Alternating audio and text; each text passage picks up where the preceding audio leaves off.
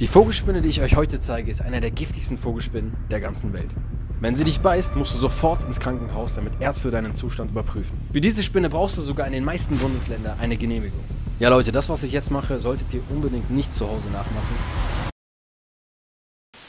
Aber bevor wir zur giftigsten Spinne kommen, reden wir erstmal über das Thema Gift. Das sind eure Fragen dazu und die werde ich jetzt beantworten. Ja Leute, und wenn ihr nicht so wie der Typ hier enden wollt, dann lasst unbedingt einen Kommentar da, ein Like und aktiviert die Glocke. Es lohnt sich auf jeden Fall zu kommentieren, denn ihr habt die Chance auf einen Shoutout im nächsten Video, sowie dieser Kommentar hier.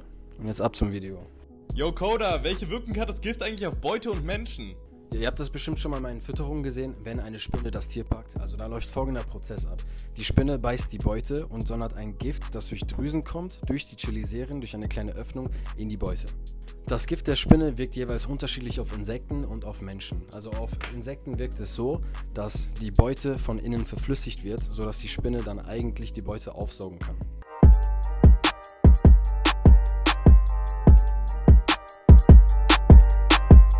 Jetzt äh, stellt sich natürlich die Frage, wie das Gift bei uns Menschen wirkt. es ist sehr ähnlich. Das Gift dringt in unser zentrales Nervensystem ein, also auch in die Muskel. Es zersetzt teilweise die Stelle, die vergiftet wurde, sodass das Gift noch besser verbreitet wird. Und bei Menschen sorgt es dann einfach für Krämpfe, Lähmungserscheinungen und natürlich auch Schmerzen. Es ist ganz besonders bei der Spinne, die wir gleich zeigen werden, denn bei dieser Spinne sind die Symptome richtig heftig. Ich habe jemand, der schon mal von dieser Spinne gebissen wurde und ich habe jetzt hier eine Live-Sprachmemo, die ich abspiele um euch zu zeigen, wie schlimm der Biss ist. Moin, kurze Erklärung zu meinem Perigalis-Biss. Nachdem ich gebissen worden bin, haben die ersten 30 Minuten angefangen, der Finger und die Hand anzuschwellen. Gleichzeitig verspürte ich so ein leichtes Kribbeln und Taubheitsgefühl und das Ganze hat sich innerhalb von den nächsten zwei bis fünf Stunden dramatisiert und in dem Folge dann ähm, Taubheitsgefühl am ganzen Arm, Muskelkrämpfen und ähm, Taubheit und Bewegungseinschränkungen am ganzen Arm. Das Ganze hat dann circa zwei bis drei, drei Tage angehalten und dann hat es leicht abgeklimmt und ähm, hatte dann nur noch so Muskelkrämpfen, die so bis zwei Wochen angehalten haben. Das war halt nicht durchgehend, aber es waren so impulsive Muskelkrämpfen. Es war eine schmerzhafte Erfahrung und ähm, das bräuchte ich nicht nochmal. Ja, okay, Leute, wir haben jetzt genug geredet. Jetzt zeige ich euch die Spinne, die verbotene Spinne. Und es geht los.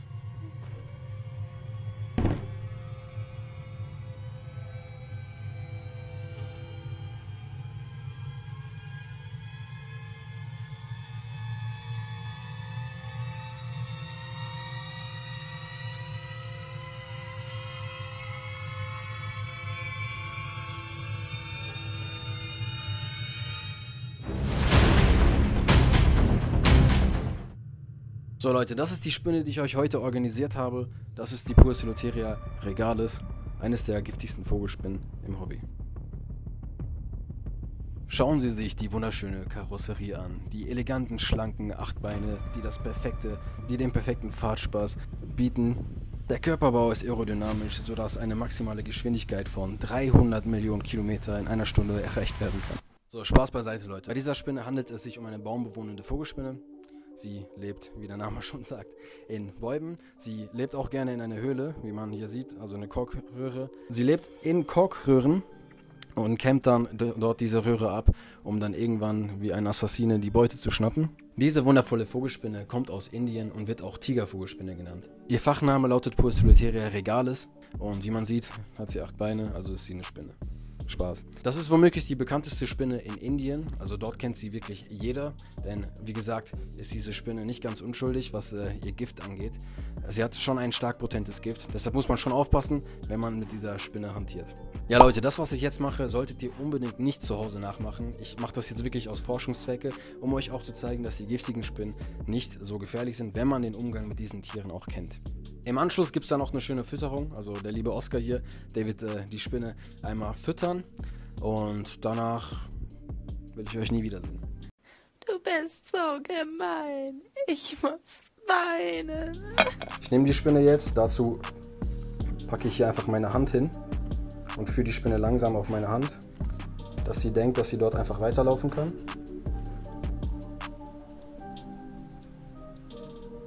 Und im Prinzip sieht ihr, dass auch so eine Spinne, wenn man den richtigen Umgang mit ihr hat, nicht wirklich bedrohlich ist für den Menschen. Ist halt ein wunderschönes Tier. Ich will euch einmal das Gelbe von unten zeigen, weil das ist wirklich schön.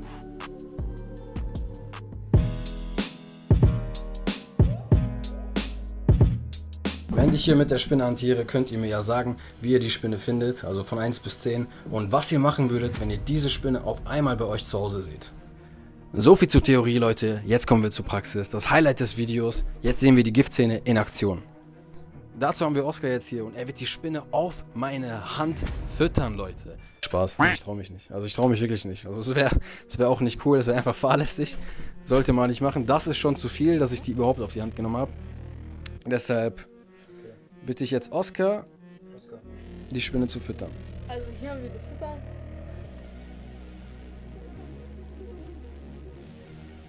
Jetzt sehen wir es. Ich halte mal hier kurz ein bisschen fest. Äh, aber die, die sah eigentlich so aus, als ob die nehmen würde. Aber jetzt, jetzt geht die Spinne wieder in ihre, ihre Höhle. So. Na, die hat keinen Bock. Okay, egal. Junge, was? Ja, wenn die nicht ist, jemand anders. Was hast du gerade gemacht? Einfach die Heuschrecke gegessen. Und er meinte, er meinte so, wenn die nicht isst, dann muss jemand, jemand anderes ja. Junge, ich sag's euch, das, was sie hier machen, ne? Ich bin bald raus, Alter, mit der Scheiße, Mann. Ja, Leute, so ist das ab und zu. Also die Spinne hatte einfach keinen Hunger und ich habe jetzt keinen Bock, jetzt einen Monat zu warten, weil das kann wirklich bis zu einem Monat warten. Oder wollt ihr warten? Warten. Nein, nein, nein, nein, nein, nein, nein! Habt ihr Bock? Ich habe keinen Bock. Deshalb äh, habe ich jetzt eine Alternativlösung und wir füttern einfach eine andere Spinne. Also auch eine Pussyloteria-Art, eine Tigrina Veseli und die hat bestimmt Hunger. Wenn nicht, dann werde ich sie essen. Ja, der liebe Oscar bereitet hier alles vor, denn ich bin ein fauler Mensch und ich habe keinen Bock hier irgendwas zu machen.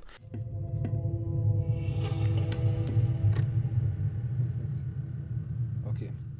Also, was ihr auch ganz gut erkennen könnt, ist, dass die Spinne jetzt hier im Ruhemodus ist.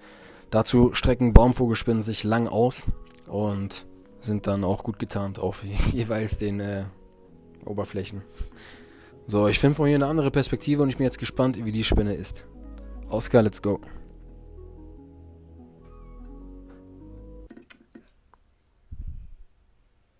Ja, Leute, wie ihr seht, ab und zu kommt es einfach vor, dass eine Spinne nicht essen will. Deshalb füttern wir jetzt einfach eine andere Spinne, um euch zu zeigen, wie das Gift funktioniert.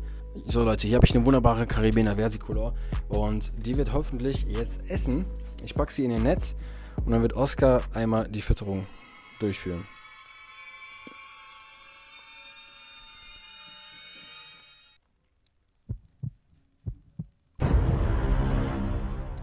Da habt ihr es gesehen.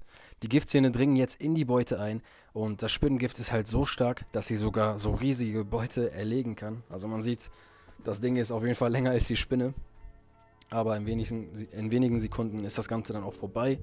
Und wie gesagt, dringt das Gift gerade in das zentrale Nervensystem des Grashüpfers ein.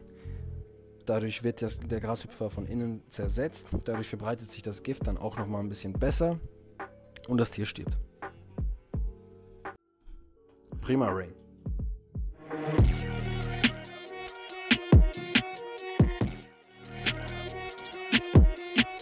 Leute, ihr wurdet heute über einiges aufgeklärt. Ihr habt gesehen, wie die giftigste Vogelspinne hier auf meine Hand geklettert ist. Ihr habt gesehen, wie eine Spinne gegessen hat, also das Gift live in Aktion gesehen, was natürlich auch sehr, sehr cool ist. Ihr habt gesehen, wie das magnetisch an meinen Haaren kleben bleibt, das Mikro. Wo sieht man das? Das war. So, das ist eigentlich echt praktisch so. Kommentiert mal, ob ihr das gut findet. Also ob ich jetzt jedes Video ab jetzt so aufnehmen soll.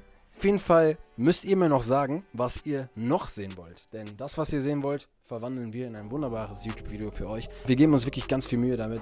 Deshalb wäre es cool, wenn ihr die Glocke aktiviert. Und ich bin auch mal sehr stolz drauf, dass sehr viele von euch die Glocke aktiviert haben. Liked das Video, teilt es mit Leuten, die unbedingt dieses Fachwissen aufbrauchen. Prallt damit. Und ansonsten, ciao Leute, wir sehen uns. Und danke Oscar für deine... Immer gerne. Löscht YouTube, bye.